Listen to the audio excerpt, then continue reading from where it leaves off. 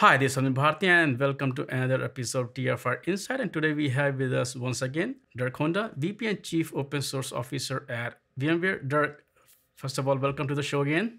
Thank you for having me. Love talking to you.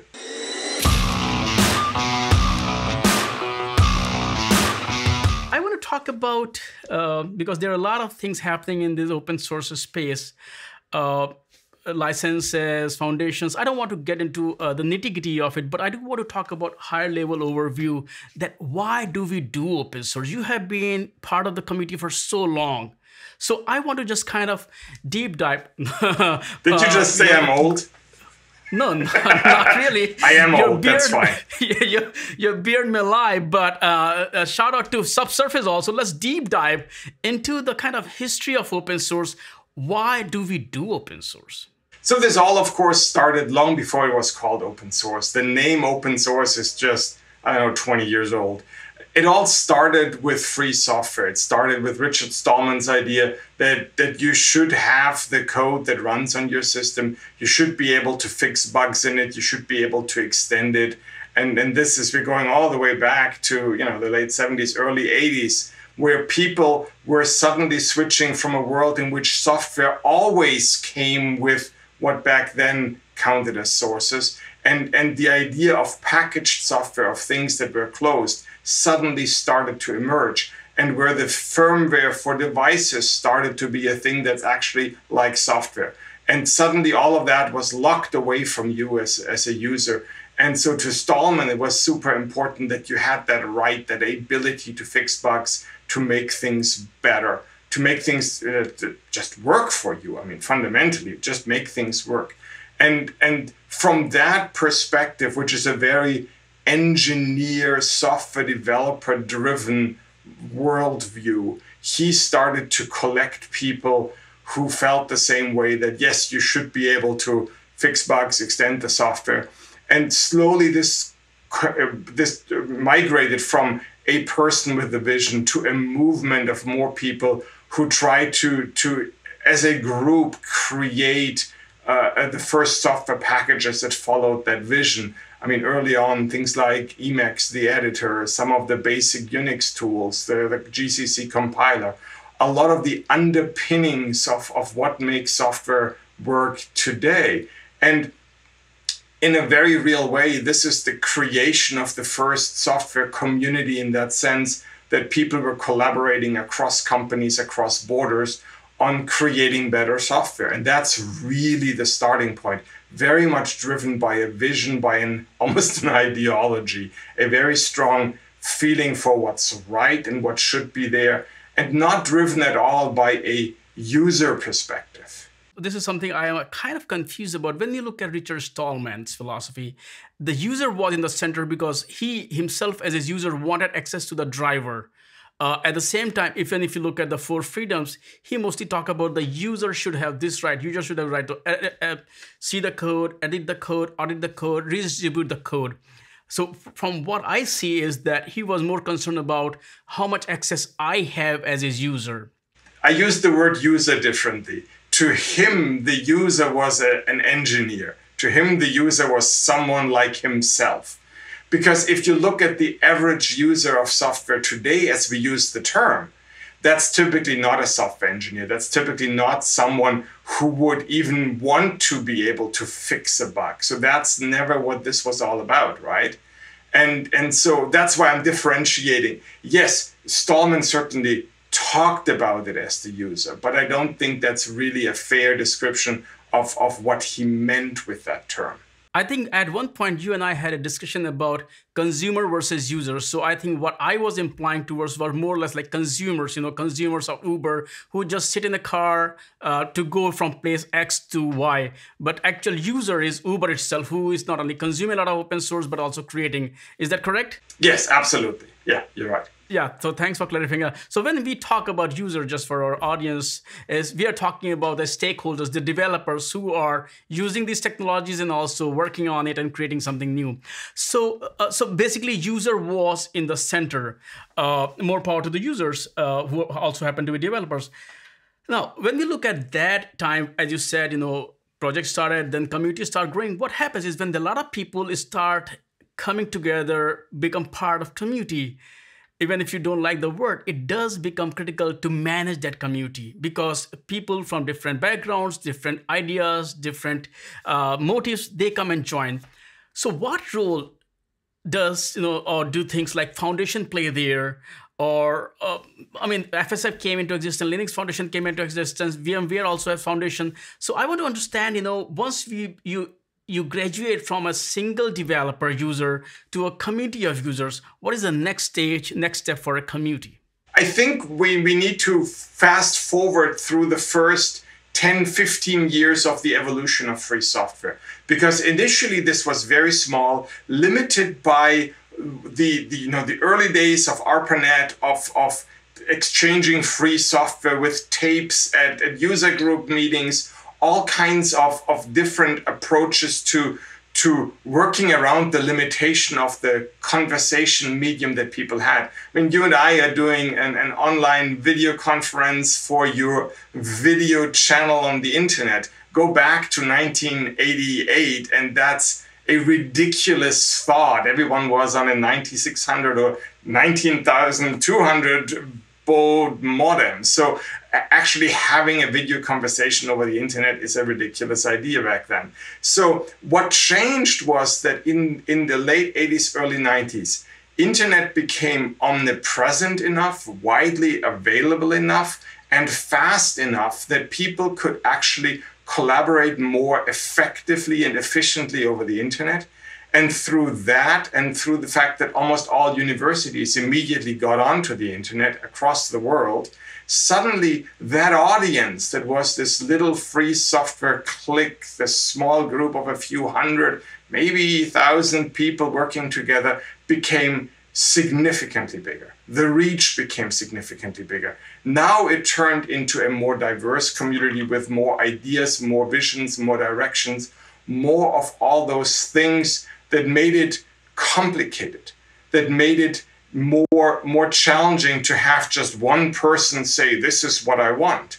And now we see a lot more projects uh, uh, created with different visions of what it means to be free software versus software resources available. What what is the meaning of these freedoms that Stallman carried about uh, versus the things that these people wanted first and foremost? And then of course enters linux and, and that really was kind of this inflection point in the open source movement where suddenly we went from all these ideas about Hurd and the gnu project to having a unix kernel and having the basis that allowed us to to really do something useful and productive and and uh, um, that that very quickly over just a few years became truly a replacement for commercial unix systems and that really is when all of this changed and when everyone's attitude towards free software, towards open source software, the term was coined not much later than that, uh, suddenly became important. One more thing uh, has changed ever since you know Linux kind of become uh, Linux made it very very easy for companies to, to embrace open source as well because they could see very clearly they can compete in the market the sales team can compete but the developers can collaborate. So how much role do you think linux played in, in this you know uh, making open source more kind of you know uh, what is the right word? Uh, not only accessible but you know it was yeah open source is something that we can try to do. So this is a, a question that i've often asked myself. So what are the factors that actually converge to create this new reality. And I, I, typically talk about three things. I talk about A, having a reasonably complete OS. So something that you could actually run without having to pay somebody else for software first. And Linux was there in like 93, 94. We were pretty close to having a, a, a full OS.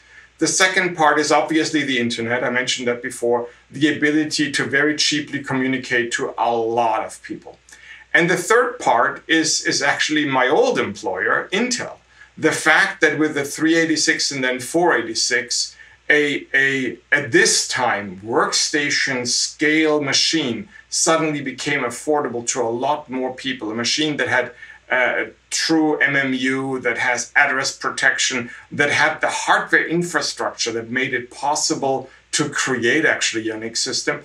And it was also extensible enough and, and broadly, diversely developed that, that a lot of new ideas were brought into that system in very, very rapid succession. So to me, it's the confluence of those three things having the people, having the community through the internet, having enough software that you can actually do something with it, and having a hardware platform on which this can be widely deployed, widely used, where developers could afford to join this as a hobby. That really is that inflection point where it changed. And then you add another five ish years, and in, in 98, Oracle suddenly says, we are going to support Linux as one of the supported platforms for the Oracle database. So that's the second inflection point, where suddenly we have an, an industry giant recognizing this as a viable OS platform, and suddenly enterprise open source, enterprise Linux, enterprise software became a thing, and therefore money entered the system. Sure, I mean, companies like SUSE, uh, Red Hat, and others existed before that moment and catered to the individual developers and sold to the modern audience that will sound crazy the, the little hard boxes that had six CDs in them, which you used to install your software. Crazy thought, right? Actually, the initial boxes had floppy disks in them. But my point is, we, we switched from a, a monetization model that focused on individual developers and therefore was very limited in the total addressable market to something that now became enterprise software and that was a totally different ballgame. And that's when we see the switch from this being mostly hobbyist developers, mostly people who did this at the university, who did this because, you know, why did most people start open source development back then? Because you downloaded it and it didn't work on your system and you're like, crap, it doesn't support my graphics card. It doesn't support my hard drive. There is something wrong with my Ethernet card. I mean, this is how I started. I, I downloaded version 011 and it turned out that it couldn't work on my 2 megabyte M megabyte 386SX. So I fixed, I broke things in the kernel that actually made it work on my system and broke it on Linus, Linus's system. That was our first interaction ever, by the way. and and so the the the fundamental idea of people just joining this as a hobby, joining it to do something they loved, versus being paid to work on it. That's the second, that's what followed out of the second inflection point. Right. So a lot of things happened at the right time, uh, and that's what led to that. Uh, you you uh, touched upon a, a, point that I was going to ask next was that as you know, as Oracle Linux, oh, not Oracle Linux, but Oracle database started supporting Linux, and as the the enterprise uh, Linux or enterprise open source came to exist, it also changed the face of the community itself. As you mentioned, a lot of developers were not working in their free time. How does that change the community itself, which earlier used to be somebody working in their free time to just patch something or scratch their own itch, versus somebody who's working full time to solve not their problem, but the problem of their customers? It changed the whole uh, community itself. So this is of course a gradual process, and and a lot of the people who were the first employees, the people who were paid, were you know six months earlier the hobbyists working in their spare time. So this is not a switch that was flipped but it's a process over several years. But what it changed was kind of the the underlying motivation the underlying dynamic between developers. Because whether i discuss with someone else something about a problem for myself that i need fixed or whether I have the job to get a certain feature into that piece of software fundamentally changes my motivation, changes the way that I engage. And it changes the dynamic as suddenly one company may have 10 people working on something, and through that, shift the direction of that project. And you can, you can of course take this to the extreme. You can take a project that is fairly small, has a handful of developer, company comes in, puts 20 people on that, suddenly they well, control is a weird word, but certainly massively impact, massively influence that project. And so, who's making the rules and who gets to decide what goes into that project? A lot of problems that we didn't used to have because it was much more one on one relationships and one on one conversations about, oh, the thing you do over here breaks me over here. How can we fix that? Versus, I have this deadline, I have to get this done. This needs to make it into the kernel or into whatever project. This is not just about the kernel. I mean, the kernel is kind of the easy example for this, but the same is true for the compiler. The same is true for a lot of the basic tools that went into the, the OS stack. Right. And it, it's, you know, I, I want to talk about, I think we, at one point, I also want to talk about how it also changed the way projects are being managed. As you rightly mentioned different people are coming from different companies working on the same projects. So i want to i want to keep a dedicated show just to talk about open governance. I just want to talk uh, today uh, just about the evolution of open source in today's world. As more and more commercial uh, companies are using and uh, writing open source project how it has how has it changed the the community in general because uh, as I said earlier, a lot of motivations came from you yourself being a user of that project and you go in there and fix it.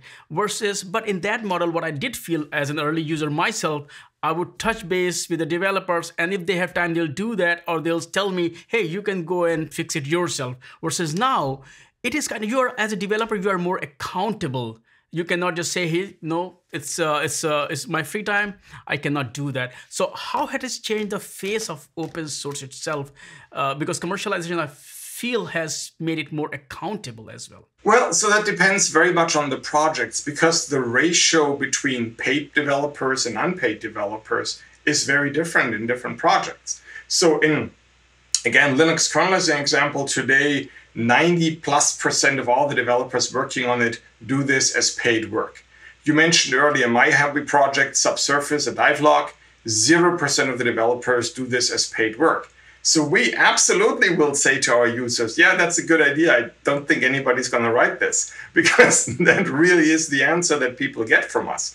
So open source has become so diverse in, not in the in the diversion and inclusion sense, sadly, but in the so many different types of projects and so many different situations, from really big, really corporate, really accountable projects where there is a, a, a system around collecting all the crashes, collecting all the bugs, a team that looks at bugs, evaluation, prioritization, assignment of tasks, very much like enterprise software development, just across multiple companies. And on the flip side, you have uh, still a lot of open source projects who are reminiscent of the 1990s, where it's just a few people who are highly motivated by an idea, who are users themselves and are trying to scratch their own itch. And as all of their itches are scratched, they're looking to other users and saying, hey, is there something that you want? Subsurface today contains a ton of features that I never use, but I'm happily adding because there is a ten, few 10,000 people who use it and, and who are looking for these things. So when we talk about how communities has, have changed, I think we should not talk about how it went from here to there, but we should talk about how it went from here to all these things. And yes, at the at the commercial edge, at the more enterprise focused side of, of, of projects, you look at something like OpenStack, you look at something like Kubernetes that are very much driven by the commercial users and by the companies who create businesses around that, who then insert developers, insert resources, Q and A, whatnot. Um, and so there is a ton more accountability. There is a ton more structure, and this this line between free software hobbyists and enterprise proprietary software is really sometimes becoming pretty blurred. And community as such it feels more like uh, I often have said that in many cases, enterprise open source software today feels like the new version of the joint venture with fewer lawyers involved. Because it's really a few companies coming together and figuring out what they want to do together, like years ago you did in a joint venture, and today you do this in open source. But this is also where many of these foundations come in that you mentioned earlier to loop back to, to your prompt. Because the OSDL, the predecessor of the Linux Foundation, was really created to have this shared resource, this lab resource to test Linux on larger systems, on, on clusters, on, on, on, hardware that the individual developer wouldn't have access to. And so the big hardware companies came together to fund that and to provide that. And that was the underlying starting idea for that. But it became a framework that allowed people to collaborate in a way that upheld many of the core beliefs of open source software and, and of, of being open, of being inclusive, of bringing in more people, of allowing anybody to contribute and, and to provide their value, while also giving the, the corporations more of a understandable environment where they understood how it worked, where they felt there is a structure that they're familiar with. And so as we go through this evolution that we talked about this, this in this whole interview, this whole conversation, um, the the creation of these foundations and the increased role of these foundations really is kind of the the final step in all this where now instead of the individual developers talking to each other the companies that employ them also talk to each other and have that forum and have that second meta level of conversation about the direction in which these projects should be going and where they want to invest and how they will collaborate and how the different pieces could fit together.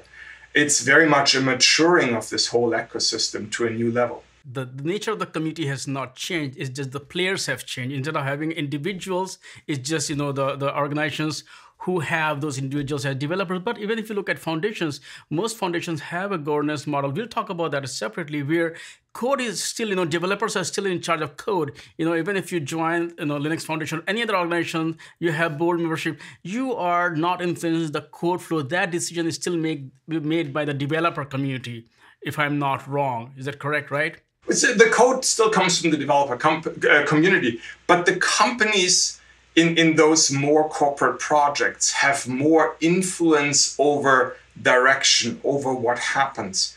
This is really this, this, this fundamental tension between what can I achieve by inserting money into this process, by inserting resources into this process. And, and uh, the, the, the fact that open source still is largely about code and about engineers and about the, the projects that are being created and the fact that developers and maintainers still play this overproportionally large role in ensuring that we create software that actually serves our own needs and serves the needs of, of our employers. That hasn't changed. The structures around it have grown up, have become more mature, but the underlying base idea that this is fundamentally software developers coming together, working together on a problem, and trying to create better software. That has been the same ethos for the last 30 plus years. But more thing that I see these foundation uh, uh, foundations are, you know, these enterprise customers when they become part of the community play is that uh, standards. I do remember the big giant story that I did, and there was a lot of controversy around OXML, you know, a couple of years ago when Microsoft came up with their own format and the Document Foundation and everybody. But nowadays, if you look at it, the communities, you know, whether it's Kubernetes, you mentioned OpenStack, they come up with their own standards where all the stakeholders they do work together. So they, we have kind of gotten rid of I mean, there are still standard organizations there that they do work in networking space, but how much role do you think it has played in standardizing technologies so that you don't have to worry about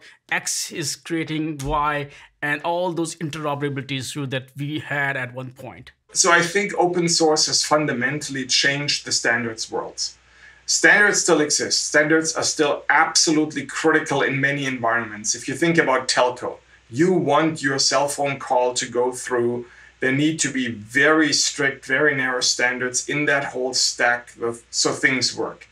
Every time people mess with standards, uh, I, I, I can tell you stories about Bluetooth low energy and the lack of standards in that space and how horrible it makes Bluetooth low energy communication between your computer and the device, say a dive computer.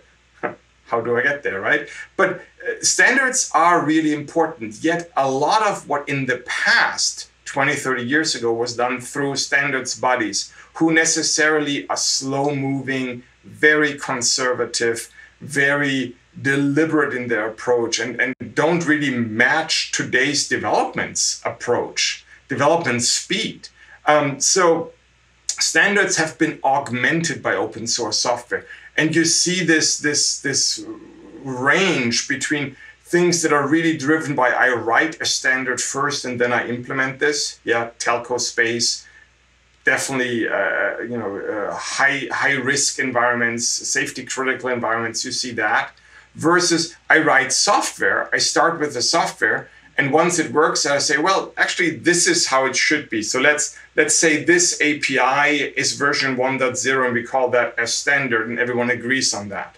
And then there is that that zone in between. You see organizations like the Linux Foundation engaging with standards bodies, engaging with the ISO and other international standard organizations, very much to to bridge that that gap and and bring together that fast moving innovative inclusive open source approach to create let's call them de facto standards and then the more deliberate process of a standards organization to create a written standard and and join those two and bring them together so that the best of both worlds happens but the, the, your underlying question standards have been fundamentally changed by open source software development yes uh, Dirk, uh, thank you so much once again for, for talking about the history and evolution of open source communities and uh, how Foundation came to exist. And I would love to talk to you uh, about open governance model uh, in the next show. So let's uh, let's get ready for that one. And once again, thank you.